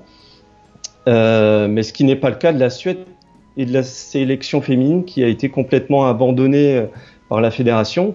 D'ailleurs, il y a des joueuses finlandaises qui ont euh, dénoncer le manque de considération de la fédération suédoise pour, euh, pour leurs joueuses. Là, on enregistre, euh, on n'est pas encore tout à fait dimanche. Je sais que tu m'avais dit tout à l'heure qu'il y avait un rendez-vous important entre la Fédé justement et, et les joueuses. Les, points clés, puis comment tu penses que ça peut se, se résoudre tout simplement? Il y a déjà eu une avancée avec la SHL, la Ligue masculine, qui a décidé de, de verser une partie d'argent pour le, hockey féminin et au niveau de la compensation des salaires. Finalement, toi qui t'intéresses beaucoup au hockey féminin, il y a énormément d'actu euh, sur les derniers mois, j'ai envie de dire, parce que aussi aux États-Unis, enfin au Canada et aux États-Unis, ça a un peu explosé aussi. Une des deux ligues principales euh, qui, qui s'arrête, etc. Beaucoup de remises en cause. Tu y vois un parallèle quand même, il y a quelque chose qui est en train de, de se passer. On sait que en France aussi, ça bouge, mine de rien. On est, on est de plus en plus à mettre en valeur et à parler du hockey féminin. Bon, c'est assez impressionnant la manière dont, dont, tous, dont toutes ces choses bougent actuellement il y a la grève des Suédoises, il y a eu euh, effectivement la situation en Amérique du Nord avec euh, l'extinction de la Ligue canadienne de hockey qui euh, a poussé ben, les hockeyeuses américaines et canadiennes à faire l'impasse sur la saison à venir et à tenter de créer une vraie ligue professionnelle. Ça, c'est vraiment leur, leur, objectif. Et puis, donc, elles ont créé une association de joueuses, donc on sent qu'il y a vraiment une, une avancée quelque part et un souhait de, d'instaurer une petite révolution en fait hein, dans, le, dans le hockey féminin. Hein. Donc après cette ligue professionnelle aux, États-Unis, en Amérique du Nord, elle est très très attendue parce que depuis le début, c'est des ligues qui sont qui sont un petit peu amateurs en fait, qui sont pas vraiment développées. Et il y avait vraiment un manque d'identification, un besoin d'une ligue, d'une vraie ligue professionnelle en Amérique du Nord. Quoi. Donc ce qui a poussé vraiment ces joueuses à, faire l'impasse et à se coordonner pour faire un projet et créer vraiment une euh, première ligue professionnelle de hockey féminin, parce que pour le moment, malheureusement, ça n'existe pas. Il y a eu des bonnes volontés, il y a eu euh, voilà euh, deux ligues, enfin plusieurs ligues qui ont été mises en chantier en Amérique du Nord, sauf qu'on est resté au statut amateur en fait, malheureusement. Et euh, donc voilà, les, choses sont en train de bouger, ça bouge également en France. Euh, je pense que la fédération française fait aussi euh, essaye de mettre un petit peu en lumière la discipline. Ça marche plutôt bien. Euh, on a vu euh, des matchs qui se déroulaient avec pas mal d'affluence. Je pense tout de suite à Épinal parce que j'y étais allé. C'était à l'occasion du tournoi des quatre nations, donc ça c'était l'année dernière, où il y a eu un public de fou pour pour l'équipe de France et et trois matchs de l'équipe de France féminine. Donc mine de rien, oui, c'est en train de bouger. J'espère que ça va dans le bon sens. Il y a euh, beaucoup, beaucoup d'efforts à faire de, de, ce point de vue-là, ça c'est sûr.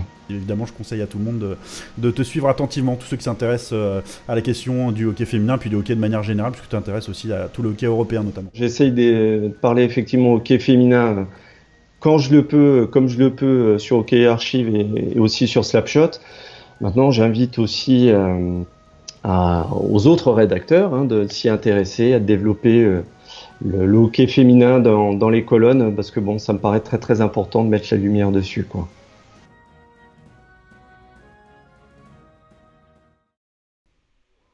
Voilà, c'était euh, cet éclairage très intéressant. Euh, puis cette euh, forme de présentation aussi pour le, pour le débat par, par, Nicolas Jacquet qui m'a envoyé quelques précisions par, par mail. Donc je vous les confie pour parler de, de l'engagement de la Ligue, la SHL, la Ligue masculine principale. Elle s'est engagée à verser environ 40 000 euros par an pendant 3 ans dans le but de régler ce problème de perte de salaire qui, bah, qui tout simplement a amené la Ligue féminine vers, le, vers un crash complet. Hein. ça devenait impossible de gérer pour les, pour les filles, évidemment, ce qu'on comprend très bien. Et puis après, il y avait des petites précisions sur le, côté nord-américain sur lequel je reviendrai, puisque je voulais tout de suite te, lancer, Charlotte, sur cette question-là. Savoir peut-être déjà, tout simplement, est-ce que tu en avais déjà, euh, avais déjà eu l'occasion d'en discuter avec des, euh, des consoeurs euh, suédoises, et est-ce que, c'est, est-ce que ça t'étonne finalement euh, qu'on, arrive à en arrive à cette situation-là? Je ne suis pas étonnée du tout de la Suède. J'en avais déjà entendu parler, bien entendu. Il faut savoir que la Suède, aux Jeux Olympiques de Turin, elle termine troisième, euh, non, seconde, je crois, médaille d'argent il y avait un, véritable engouement et un support de la fédération euh, dans ces années-là, mais de, Turin, ça remonte à 2006. Et depuis, ça n'a été que de mal en pis, euh, même si on a eu la Coupe d'Europe féminine des clubs champions, l'équivalent de la CHL, etc. Mhm. Les joueuses, les joueuses suédoises se sont fait pas mal recruter par des équipes russes où il y avait de l'argent ou des équipes finlandaises. Et elles étaient déjà semi-pro. Et, euh, et donc, ça va de mal en pis depuis Turin quand même, hein, euh, c'est pas rien. Il faut voir aussi, ça a beau être la, sixième nation au classement IHF hein, en 2018, elles étaient sixième, c'est quand même pas rien. Et, euh, les joueuses sont vraiment en souffrance. Euh, donc c'est quelque chose qui couvre depuis longtemps. Et puis je pense que dans à l'ère actuelle du MeToo, de l'égalité salariale, des, des, joueuses de l'équipe de mmh. foot euh, nord-américaines, enfin États-Unis, qui se mettent en grève aussi, euh, il y, a un tourbillon sur le hockey féminin qui va arriver. Chose que la Finlande a déjà anticipé, où euh, en Finlande, les joueurs sont, beaucoup mieux traités, entre guillemets. Ouais, puis on a vu les résultats immédiatement avec ce presque titre. récent. effectivement, il y, y, a une grosse différence entre les deux voisins à ce niveau-là. Mathieu, Évidemment, bah, tu parlais des joueurs professionnels euh, en France. Il euh, n'y a pas de joueuses professionnelles qui évoluent en France. Hein, c'est impossible. Je crois, crois pas qu'il y ait vraiment de salaire de distribuer euh, dans, la Ligue élite française, etc. Est-ce que c'est néanmoins un, sujet qui, t'intéresse et duquel tu as pu discuter avec certains acteurs ou, certaines actrices? D'ailleurs, j'en profite pour dire que, que j'avais convié Anouk Boucher et Laure Baudry aussi à l'émission. Du jour et qu'elles malheureusement elles n'ont pas pu, elles auraient été ravies d'être là. C'était important pour moi de, de, le dire parce que c'est vrai que la table ronde de façon ancestrale n'était réservée qu'aux hommes. C'est bien sûr complètement pas le cas avec celle du hockey et, et celle qu'on met en place ce soir. Et donc il y aura régulièrement des femmes qui participeront. Ça me paraît être vraiment très important aussi. Petite parenthèse effacée, Mathieu, pour te laisser un petit peu la parole. malheureusement, j'ai très peu de connaissances sur le sujet. Après, c'est une certitude qu'il doit y avoir vraiment beaucoup de, de, de, problèmes pour développer euh, le hockey féminin. Quand, quand, je vois déjà, même euh, en Magnus, que, ce que peut avoir euh, comme conditions financières certains jeunes joueurs, j'imagine effectivement ce qu'on peut avoir du côté féminin.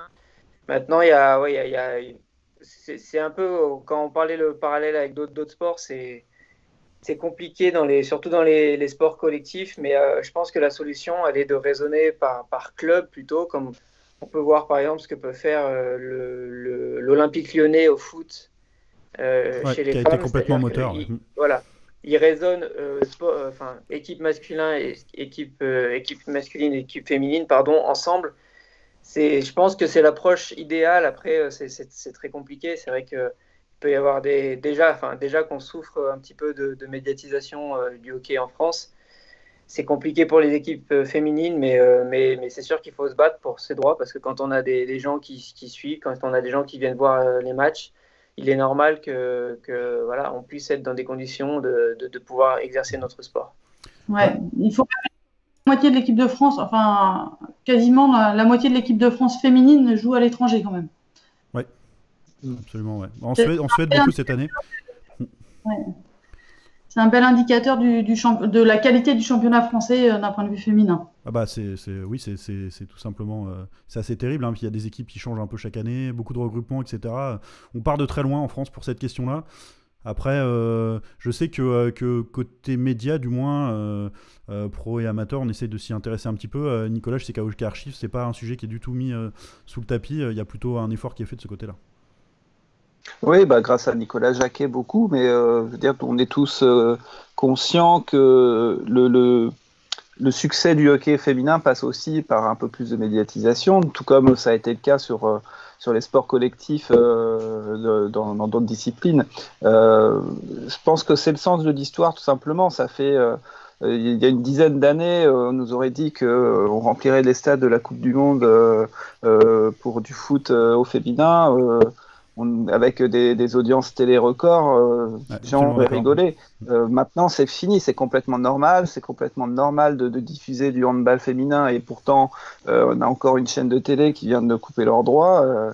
voilà. Donc, moi, ce qui me frappe le plus pour ce, débat, pour revenir à la Suède, c'est qu'effectivement, c'est un pays qui se dit progressiste sur l'égalité homme-femme et qui, pour le coup, paye même pas l'équipement des joueuses ou leurs frais de déplacement. Ça me paraît complètement aberrant. ils sont capables de lâcher un, demi-million d'euros pour, pour payer les assurances des joueurs NHL. Ils sont déficitaires sur les championnats du monde euh, parce que bah, ça leur a coûté beaucoup plus que ça, ça, leur a rapporté et ça les dérange pas. Quoi. Et, alors qu'une petite fraction de cet argent-là euh, pourrait être mis dans l'équipe nationale. Ce n'est pas une question d'aider un club autre, c'est les, les, femmes qui représentent le pays dans la plus haute compétition de, leur discipline, qui est un sport majeur en Suède. Ça paraît complètement aberrant qu'une euh, telle disparité. En France, euh, j'ai le sentiment qu'on est...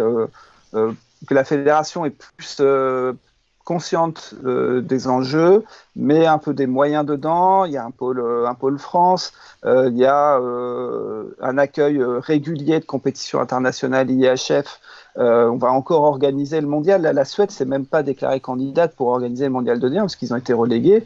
Ils ne sont même pas déclarés candidats. La France a sauté sur l'occasion. On va encore organiser euh, le, mondial de D1 parce que pour nous, c'est quelque chose qui est plus important. Et on voit cette progression de l'équipe de France qui maintenant est capable d'aller battre le Japon là cet été en tournée au Canada, a battu la Russie il n'y a pas très longtemps. Alors oui, on, est on est dixième, on est aux portes des JO, il y a encore beaucoup de chemin. Euh, les moyens sont sans doute pas encore suffisants et, il y a encore du travail, bien sûr. Il y a une progression et je pense qu'il faut vraiment continuer dans cet axe-là. Ouais, merci bien pour ton, intervention, Nicolas. Effectivement, je pense qu'on est tous d'accord sur le fait qu'il faut être moteur, euh, tous autant qu'on peut, en tout cas, euh, pour aller vers cette, euh, reconnaissance. Et puis, ça apporte ses fruits en général. Donc, c'est bien de voir qu'effectivement, la, France, oui, est à la traîne au niveau de la qualité de son championnat principal, mais qu'au niveau de la fédération, il y a une forme de, prise en compte un peu de, ça, du fait que le hockey féminin doit exister, doit être soutenu. Donc il faut en tout cas encourager évidemment la Fédé à aller un maximum vers ça, et puis à écouter les joueuses, les arbitres, les, parce qu'évidemment je pense aussi à, toi Charlotte, etc. Mais il faut vraiment qu'elle qu'elle soit capable aussi dans ses dans voilà on sait que maintenant il y a une DTN qui est une femme aussi c'est pas pas, pas rien c'est pas anodin c'est très bien elle a été évidemment choisie pour ses compétences mais c'est très bien de le voir et euh, il y a besoin de mixité dans le sport de manière générale donc si le hockey français peut être peut être euh, précurseur en la matière en partie en tout cas ce, sera que positif. Euh, deux petites infos supplémentaires enfin plutôt une principale pour le hockey nord-américain donc il y a une des deux ligues qui s'arrête effectivement comme Nicolas expliquait. Il y a le Dream Gap Tour qui a été lancé là. Elles vont faire tout un tas de tournois à travers le monde et elles ont des gros sponsors derrière elles. Donc ça bouge quand même. Euh, faut espérer que ce soit une année noire qui débouche sur, enfin plutôt que cette année soit positive et que l'année noire passée euh, débouche sur quelque chose de, très intéressant. C'est vrai qu'on aimerait bien avoir une forme de, de, NHL au féminin un petit peu avec euh, des, forcément des moyens un peu différents, mais, euh, mais quand même qu'on qu'on qu'on se tourne vers ça. ben ouais, Charlotte, je t'en prie. Non, mais quand j'entends que finalement en Suède on va développer, débloquer 40 000 euros par an ça me paraît un peu dérisoire. Euh, oui, oui, complètement. C'est clair. Assez peu. l'argent de poche. Non, puis c'est vraiment sorti parce que euh, avec euh, les oursins dans la poche, euh, voilà quoi, c'est terrible pour eux. J'ai l'impression de faire un effort comme ça. Quoi. Ouais. Ouais, mais ils se rendent même pas compte à quel point médiatiquement ils, ils sont à côté de la plaque en fait. Euh, on, est dans des débats majeurs, tu parlais de MeToo, etc. On a des vrais débats de société sur l'égalité homme-femme. On en parle de plus en plus. Il y a vraiment des, préoccupations majeures. Euh, les entreprises, elles l'ont senti le mouvement. Je veux dire, elles savent que si elles sont pas éthiques sur ce côté-là, elles vont être boycottées ou on va les mettre vraiment au pilori. Donc du coup, par, simple intérêt, euh, il y a des gros sponsors pour ces retournées féminines au Canada, aux États-Unis. Euh, c'est pas de la philanthropie, hein, c'est du marketing. Ouais, puis on, Donc, a, on vous rappelle, il y a une grande marque euh, américaine d'équipement aussi, très connue, la plus grande au monde sûrement probablement, qui a fait aussi un clip euh, absolument incroyable. Euh, pour parler de, de, des femmes, etc. Et je pense que ça, si, des, si des, des, effectivement, comme tu le dis, des très grandes, des méga entreprises prennent ce chemin-là, c'est effectivement pas du tout par philanthropie, c'est parce qu'elles savent très bien derrière ce qui peut être généré et tout, donc il faut s'en féliciter néanmoins. Quoi. Mais après, voilà, c'est les dirigeants euh, de ces lits qui sont euh, majoritairement des hommes euh, blancs de 50 ans, comme on dit, qui, sont extrêmement conservateurs. Je pense que parmi, on, on, parle beaucoup du conservatisme du football au niveau des instances, mais je pense que le hockey c'est pareil aussi. On a finalement dans, dans, le milieu du hockey beaucoup de euh, on a un côté endogène en fait on, reste entre soi c'est des anciens joueurs qui deviennent dirigeants euh, et puis ça gravite et puis c'est le fils d'eux et puis et puis on reste entre nous. Il n'y a pas vraiment un apport de, l'extérieur. Or là pour le coup on a l'impression qu'ils débarquent de la lune en Suède à à quoi les femmes se révoltent mon dieu? Bah, oui euh, à un moment vous les payez des clopinettes ou vous les payez même pas du tout. Oui à un moment elles font la gueule ouais ça me paraît normal Ouais, c'est clair. Bah, Charlotte, je vais te laisser le, le, le, mot de la fin sur la question. Ça me paraît évidemment intéressant. En premier lieu, de laisser la parole aux femmes un maximum parce que c'est, on, on, sait que les, les, hommes en parlent beaucoup de la question des femmes, mais c'est important quand même que vous soyez les premières ouais, à, à, pouvoir vous exprimer. Non, non, non, mais euh, d'ailleurs, euh, toi, je, je, sais, je remercie le hockey franco. Tu as toujours donné euh, la parole aux femmes, ne serait-ce que dans ton Tour de France, on, on l'a vu. Pour toi, le hockey n'est pas que masculin, donc euh, félicitations. C'était, euh, c'est quand même important de le souligner. Après, euh, oui, il y a des femmes dans le hockey. Euh, souvent, elles s'entraînent vers 22h30, 23h le dimanche soir parce que c'est le seul créneau qu'elles ont dans les petits clubs. Euh, quand on les empêche pas de jouer en mixité. Hein. Moi, quand j'ai commencé le hockey à 9 ans, on m'a interdit de monter sur la glace avec les garçons. J'ai dû attendre 3 mois une dérogation pour avoir le droit de jouer, tout simplement. Ouais, c'est fou. Euh, et j'ai pas encore 106 ans, donc c'était il n'y a pas si longtemps que ça. Et et vraiment, euh, la médiatisation fait partie du truc. Euh, et comme tu disais, Nicolas, il faut aussi que dans les clubs, on prenne conscience qu'il bah, y a sûrement des femmes qui veulent jouer et que peut-être que le créneau de 22h30 le dimanche soir, c'est pas toujours celui qui est idéal, surtout pour recruter. Et donc, moins tu recrutes, moins tu as envie de donner de l'argent parce que l'équipe est vivote, parce que tu es là qu'avec des passionnés. Euh, donc, plus on en parlera, plus ça deviendra d'un commun d'avoir des filles qui jouent au hockey. comme maintenant c'est commun d'avoir des filles qui jouent au foot. Absolument, je suis complètement d'accord avec toi. C'était une, très bonne conclusion. Puis on va finir euh, euh, sur un sujet un peu sympa aussi, euh, plus sympa, plus, positif. c'est qui, sera celui d'un petit jeu, un petit quiz pour terminer, pour, pour, pour s'amuser avec ça. alors tout simplement, ce que je vais vous demander, mes chers spécialistes du soir, c'est de me citer en fait à, tour de rôle un joueur de l'équipe de Salt Lake des derniers JO auquel a participé l'équipe de France. C'est pas si compliqué. Honnêtement, j'aurais pu choisir beaucoup plus dur. C'est pas si compliqué. Donc, euh, bah, c'est tout simple. Hein. Il, y a, euh, y a vous chacun à votre tour. Je vais me tourner vers vous. Je vais vous demander un nom. Et puis, bah, si vous vous trompez ou que, euh, ou que vous ne savez pas, bah, tout simplement, c'est l'élimination. Et puis, ça passe au, joueur suivant, j'ai envie de dire. Donc, on va voir. Il y a quand même quelques, bon, y a quelques spécialistes de, de, de l'équipe de France dans le lot. Donc, peut-être que ça va être plus facile pour eux. Hein, je dis pas, mais ils, mettent, ils mettent en tout cas leur, leur, leur savoir en jeu, là. Ça, c'est sûr. Ouais, c'est bon, tu, bon c'est, on peut le dire, hein, c'est ton collègue un peu quelque part, mais, mais en tout cas bien joué. T'as as, tout bon là-dessus. Euh, Mathieu, à toi. Je vais dire Philippe Boson. Ouais, c'est bon aussi évidemment. Euh, Nico. Baptiste Tabar. Ouais, on est toujours bon. Philippe, ça va devenir euh, de plus en plus dur évidemment au fur et à mesure des, des tours. Fabrice Lenry. Ouais, très bon, mais T'aurais pu être pénalisé dans la mesure où il n'a pas joué en fait.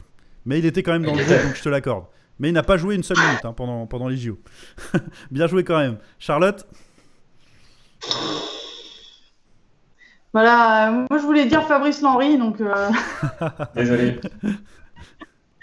Euh, aucune idée. Mais, j'étais pas né. Hein. Oui, bien sûr. Ah bah, élimination. Mathieu, toi, tu toi, toi, t'en as encore sous la gâchette, je pense. Je vais, dire Stéphane Barin. Stéphane Barin.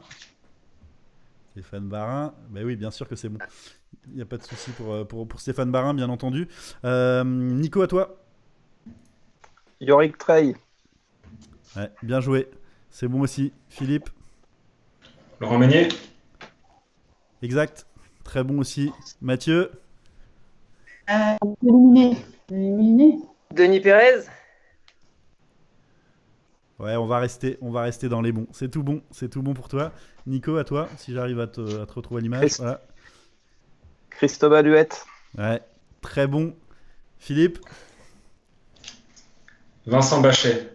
Ouais, excellent. Ah là, là, on a, là, là, on a des bons. Là, là on a des bons. Mathieu Christian Pouget Christian Pouget. Alors j'ai un doute, tu vois. Je vais quand même, je vais aller vérifier parce que 2002. Je vais vérifier dans ma liste, mais moi je dirais que, pas, je dirais que non. Non, a priori, euh, pas de 2002. Ah. Pas de 2002. Euh, hop. Donc désolé. Il nous reste que Nicolas et Philippe. Nicolas Alors là, ouais, là c'est tendu là. Euh... Euh, en fait, c'est quand on a la liste sous les yeux, c'est tellement facile. je, tente, je tente un John Zickel. Exact, c'est bon, c'est parfait. Euh, à toi, Philippe. Euh... Il est interdit de regarder Elite Prospect. ouais, c'est clair, c'est clair, on est d'accord. avec Maurice Rosenthal.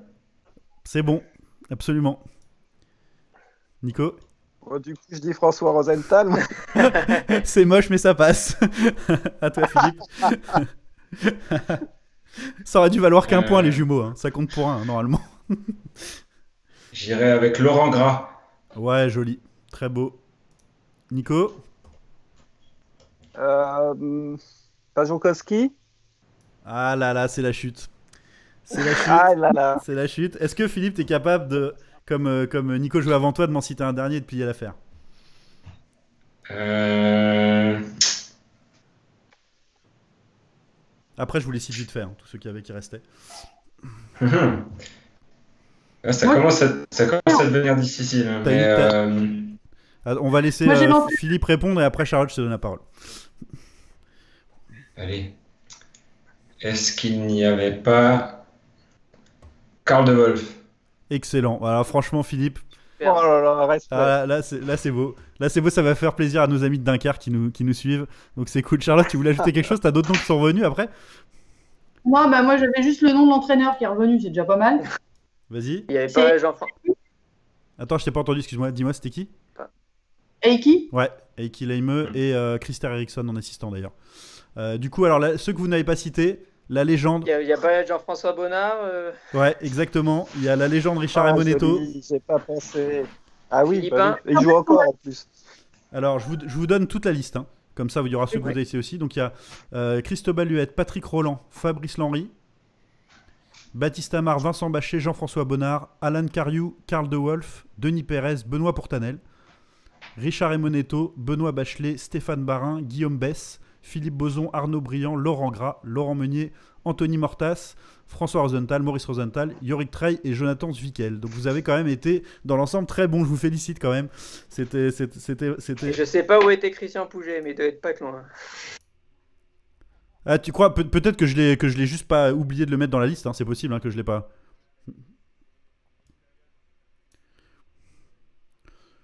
Ouais, ouais, ça, ça- ouais, parce que dans la liste, ça me paraît quand même pas mal complète, donc c'est, peut-être ça. Effectivement, on y a tous, on y aurait tous pensé, je pense. Ben, merci à tous. En tout cas, c'était vraiment top de tous vous avoir. Je vous salue individuellement. Euh, merci Charlotte. Euh, et puis à à une vous. prochaine. Ce sera un grand plaisir de t'avoir encore une fois. Merci à vous, c'était euh, très sympa, même si j'ai éprouvé ma nullité sur le dernier. Mais ton extrême compétence sur certains sujets qu'on a abordés ce soir, et c'était ça le principal. Euh, Mathieu, merci beaucoup euh, d'avoir, d'avoir été là. Euh, C'est pareil, j'espère qu'on te comptera parmi les, les- les fidèles de l'émission. Merci beaucoup. Oui, bah, euh, à très bientôt. Parfait. Et euh, Nico, salut euh, à toi, merci d'avoir été là. Salut à tous, et puis à la prochaine, je pense que je serai plus efficace pour la NHL. ouais, ouais. Donc, euh, on vous le rappelle d'ailleurs, parce que la question a été posée en cours euh, d'émission. Donc, je vous, je vous refais le topo euh, vite fait. Premier dimanche du mois, euh, France-Monde, c'est ce qu'on a fait ce soir. On l'a appelé tout simplement France parce que c'est plus simple. Donc, voilà, France-Monde. Et puis, tous les troisièmes dimanches, ce sera sur la NHL avec voilà, à peu près le même type de décor, un petit peu ajusté, et puis avec d'autres intervenants. Donc, voilà, bah, c'était pour rappeler ça. Et puis, bah, Philippe, salut à toi. Merci d'avoir été là, à nos bons souvenirs euh, passés et futurs euh, pour ces émissions. Merci et à bientôt. Et puis on salue tous ceux qui ont participé et qui étaient là pour nous, nous regarder, nous encourager pour cette première. Euh, je pense qu'il y en aura beaucoup d'autres. Je crois savoir que sur YouTube ça n'a pas fonctionné le direct. Je vais essayer de voir pourquoi évidemment. Sur Facebook ça a l'air de bien fonctionner vu que je vois les commentaires aussi qui apparaissent en direct. Donc merci à tous. Je vous salue bien. Je vous dis à très vite. Et puis bah voilà, tout simplement donnez-nous vos conseils pour améliorer l'émission, pour qu'on qu'on avance. J'ai vu passer quelques petits conseils que je vais que voilà dont je vais pouvoir me servir pour la suite. Et puis à très bientôt. Euh, vive le hockey euh, tout court, vive le hockey français, vive le hockey féminin. Et puis euh, à très vite. Salut à tous.